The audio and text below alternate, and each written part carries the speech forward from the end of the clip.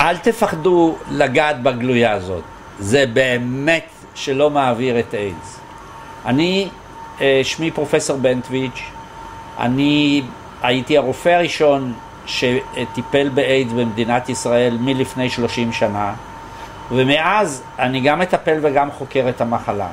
איידס איננה עוברת על ידי מגע, על ידי חיבוק, על ידי נשיקה, על ידי שימוש באותו בית שימוש, היא עוברת אך ורק על ידי מגע מיני בלתי מוגן.